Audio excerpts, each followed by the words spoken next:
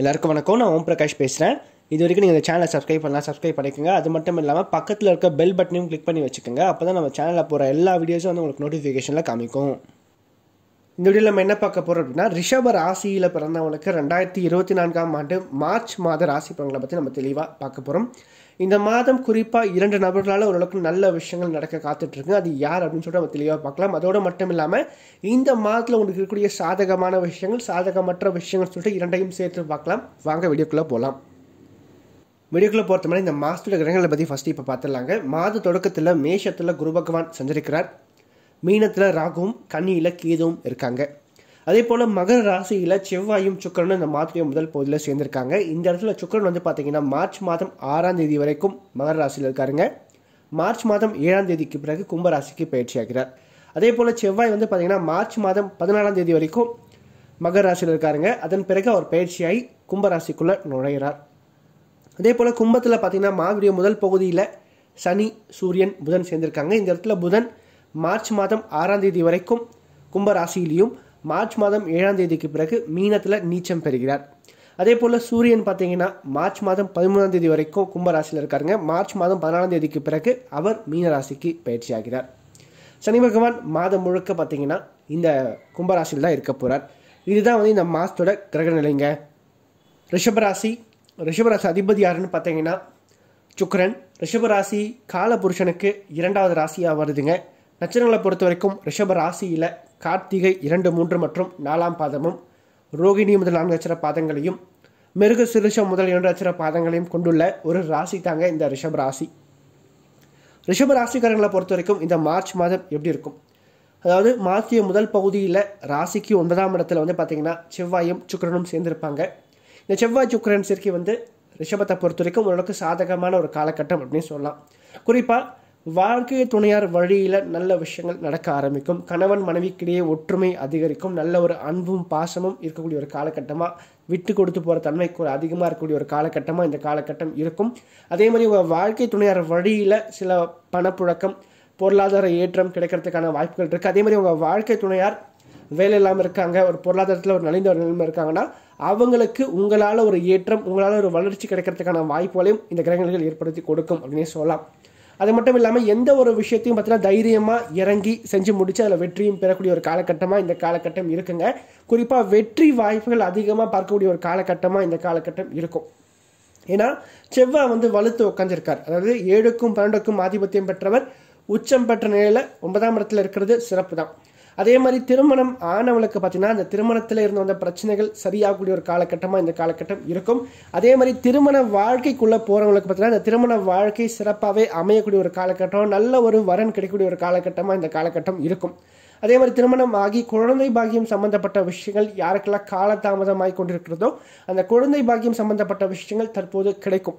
So இந்த பாக்கியம் அப்படின்ற விஷயம் வலுவாக இருக்கனால இந்த காலகட்டம் எல்லா வகையான விஷயத்திலும் உங்களுக்கு ஏற்றம் தருகின்ற வகையில் இந்த மார்ச் மாதத்துடைய முதல் பகுதி ரிஷபராசிக்காரர்களுக்கு இருக்க போதுங்க குறிப்பாக மாணவ மாநிலக்கும் இந்த காலகட்டம் நல்ல ஒரு சாதகமான விஷயங்களை கொடுக்கும். சரிங்களா? ஸோ நிறைய ஃபேவரான விஷயங்கள் தான் அதிகமாக நடக்க போகுது இந்த மார்ச் மாதத்துடைய முதல் பகுதியில். ஆனால் ரெண்டாவது பகுதி கொஞ்சம் சவாலாக இருக்குங்க. ஸோ அதை தான் நீங்கள் முக்கியமாக பார்க்கணும். ஏன்னா நல்ல விஷயங்கள் ஆட்டோமேட்டிக்காக நடக்க தான் போகுது. ஆனால் கெட்ட விஷயங்கள் மட்டும்தான் நம்ம வந்து குறிப்பாக சுட்டி காட்டணும் ஏன்னா அதுதான் முக்கியமான விஷயம். நல்லது நடக்கும்போது யாரும் பெருசாக வந்து அதை பார்க்க மாட்டாங்க கவனிக்க மாட்டாங்க. ஆனால் கெட்டது நடந்தால் மட்டும் அதை வந்து குறிப்பாக கவனித்து பார்ப்பாங்க. அதுதான் மனிதனுடைய இயல்பு. சரிங்களா? ஸோ அப்படி இருக்கும்போது இந்த மாற்று இரண்டாவது பகுதி எப்படி இருக்கும் அப்படின்னு பார்க்கும்போது குறிப்பாக வேலை தொழில் போன்ற ஜீவன அமைப்புகள் இருக்கிறவங்களுக்கு பார்த்தீங்கன்னா அந்த செய்கின்ற வேலையில் கொஞ்சம் பணிச்சுமைகள் அப்படின்றது அதிகரிக்குங்க. தொழிலில் வந்து பார்த்தீங்கன்னா கொஞ்சம் போட்டிகள் அதிகரிக்கும். இந்த மாதத்துடைய இரண்டாவது பகுதியில் முதல் பகுதி நல்லாவே இருக்கும். ஆனால் இரண்டாவது பகுதியில் பார்த்தீங்கன்னா கொஞ்சம் சவால்கள் அப்படின்றது இருக்கத்தான் செய்யும். அது இல்லாமல் உங்களுக்கு பிடிக்காதுடைய கைகள் வந்து உவங்க ஆரம்பிக்கும். கொஞ்சம் வியாபாரத்தில் வந்து பார்த்தீங்கன்னா ஒரு மந்த நிலை அப்படின்றது ஏற்படும் இந்த காலகட்டத்தில். ஏன்னா ரெண்டாம் அதிபதினு சொல்லப்படக்கூடிய புதன் லாபத்தில் நீச்சமாக இருக்காருங்க. கூட ராகுவும் சேர்ந்திருக்கார் சூரியனும் சேர்ந்திருக்கார். சரிங்களா? ஸோ அப்படி இருக்கும்போது இந்த காலகட்டம் கொஞ்சம் வருமானம் சம்மந்தப்பட்ட வழியில் பணத்துக்கு கொஞ்சம் தடுமாற்றங்கள் தருகின்ற வகையில் பொருளாதாரத்தில் கொஞ்சம் கஷ்டத்தை கொடுக்கும். இந்த மார்ச் மாதத்துடைய இரண்டாவது பகுதி. அப்போ நீங்கள் முதல் பகுதியில் என்ன பண்ணணும்? வரக்கூடிய வருமானத்தை சேர்த்து வச்சுக்கணும். வீண் செலவுகளை குறைச்சிக்கணும் இந்த காலகட்டத்தில். ஏன்னா பணம் அப்படின்ற ஒரு விஷயத்துக்காக கண்டிப்பாக ரிஷபராசிக்காரங்க இந்த மார்ச் மாதத்துடைய இரண்டாவது பகுதியில் கொஞ்சம் தடுமாற்றங்கள் கஷ்டங்களை சந்திப்பீங்க. ஸோ அப்போ நீங்கள் வந்து உஷாராக என்ன பண்ணணும்? முடிஞ்ச வரைக்கும் இந்த மாதத்துடைய முதல் பகுதியில் வரக்கூடிய வருமானத்தை சேர்த்து வச்சுக்கணும். காசை அதிகமாக செலவு பண்ணுறதை குறைச்சிக்கணும் இந்த காலகட்டத்தில். அதே மாதிரி ஆன்லைனில் பணத்தை இன்வெஸ்ட்மெண்ட் பண்ணுறது இந்த ஷேர் மார்க்கெட்டில் இன்வெஸ்ட்மெண்ட் பண்ணுறது ட்ரேடிங்கில் இன்வெஸ்ட்மெண்ட் பண்ணுறது இதெல்லாம் இந்த மாதிரி இரண்டாவது பகுதியில் தவிர்க்கிறது ரொம்ப சிறப்பாக இருக்கும் அப்படின்னு சொல்லுவேன்.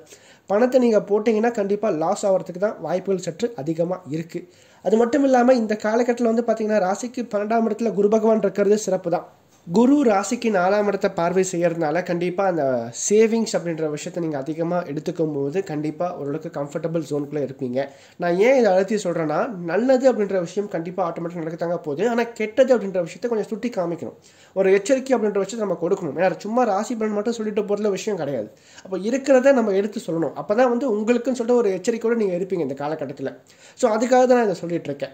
அது மட்டும் இல்லாமல் ராசிக்கு ஆறாம் இடத்தையும் எட்டாம் இடத்தையும் குரு பகவான் பார்வை செய்கிறனால சொந்த ஊரை விட்டு வெளிநாடு போகிறது வெளியூர் சம்மந்தப்பட்ட விஷயங்கள் உங்களுக்கு சாதகமாக அமைஞ்ச முடியுங்க. அதே மாதிரி பயணங்களால் ஏற்றம் பயணங்கள் மூலம் வருமானம் கிடைக்கிறது ஒரு லாபம் கிடைக்கிறது இதெல்லாம் தேடி வரக்கூடிய ஒரு காலகட்டமாகவும் இந்த காலகட்டம் இருக்கும். குறிப்பாக சொல்லப்போனால் இந்த காலகட்டத்தில் மறைமுகமாக சில விஷயங்கள் நீங்கள் செய்யும்போது அதில் ஒரு சில லாபங்கள் ஒரு சில ஏற்றங்கள் கண்டிப்பாக கிடைக்கும். அதோடு மட்டும் இல்லாமல் சொந்த ஊரை விட்டு அப்ராட் போய் அங்கே செட்டில் ஆனவங்களுக்கு வந்து பார்த்தீங்கன்னா ஓரளவுக்கு சாதகமான ஒரு காலகட்டமாக இந்த காலகட்டம் இருக்குங்க. குறிப்பாக வேலை நிமித்தமாக தொழில் நிமித்தமாக நீங்கள் சொந்த ஊரை விட்டு வெளியில் போகிறீங்கன்னா அதில் ஒரு ஏற்றம் ஒரு வருமானம் கண்டிப்பாக கிடைக்கும். ஆனால் இங்கே இருக்கிறவங்களுக்கு வந்து பார்த்தீங்கன்னா கொஞ்சம் அந்த செய்கின்ற வேலையில் தொழிலில் வந்து பார்த்தீங்கன்னா கொஞ்சம் போட்டிகள் அதிகரிக்கும் தடைகள் அதிகரிக்கும். வேலை செய்கிற இடத்துல பார்த்தீங்கன்னா சக ஊழியர்களால் சில பிரச்சனைகள் சில மனஸ்தாபங்கள் வரும். ஸோ நீங்கள் கொஞ்சம் விட்டு கொடுத்து போகணும் அனுசரித்து போகணும் இந்த காலகட்டத்தில். ஏன்னா எப்பவுமே ஒரு ஜாதகத்துலேயும் சரி கோச்சாரத்துலேயும் சரி சனியோட செவ்வாய் வந்து சேரக்கூடாதுங்க. அது ரெண்டும் சேராமல் இருக்கிற ஜாதகம் தான் நல்ல ஒரு ஜாதகம் அப்படின்னு சொல்லுவேன். அப்போ இன்றைக்கு கோச்சாரத்தில் வந்து பார்த்தீங்கன்னா சனியோட செவ்வாய் சேர்ந்துருக்கனால கண்டிப்பாக அது எந்த பாவகமாக இருந்தாலும் அதாவது ஒரு ஒரு ராசிக்கும் அது ஒரு ஒரு வீடாக வரும். ஸோ அது எந்த வீடாக இருந்தாலும் அந்த வீடு கண்டிப்பாக பாதிக்கப்படும். ஸோ அந்த வகையில் ரிஷபத்துக்கு இது பத்தாம் இடமா வரதுனால தொழில் சம்மந்தப்பட்ட வழியில் வேலை சம்மந்தப்பட்ட வழியில் உத்தியோகம் சம்மந்தப்பட்ட வழியில் கொஞ்சம் பிரச்சனைகள் மனஸ்தாபங்கள் இந்த மார்ச் மாதத்துடைய இரண்டாவது பகுதியில் வரும்.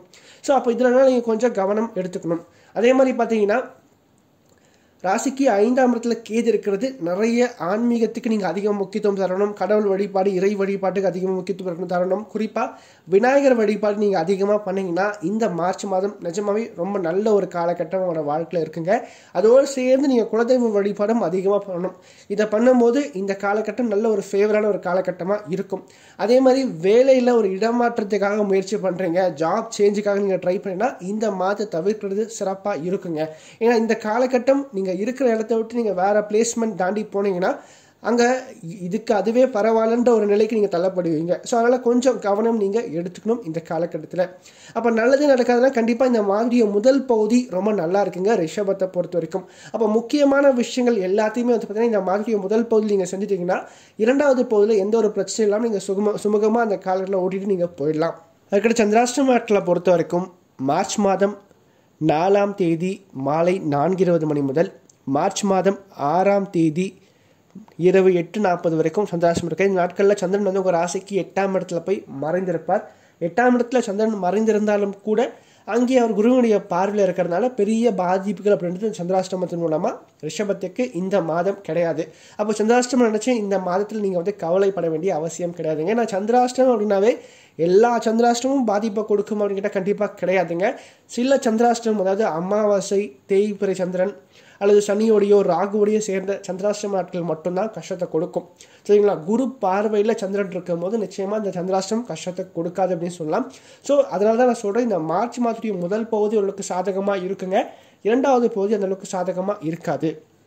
அதே மாதிரி பார்த்தீங்கன்னா இந்த காலகட்டத்தில் யார் மூலமாக உங்களுக்கு நல்ல விஷயங்கள் நடக்கும் அப்படின்னு பார்க்கும்போது முதலாவதாக குழந்தைகள் பிள்ளைகள் வழியில் நல்ல ஒரு ஆதாயங்கள் கண்டிப்பாக கிடைக்கும் அல்லது பூர்வீகம் சம்மந்தப்பட்ட வழியில் நல்ல விஷயங்கள் தேடி வரும்.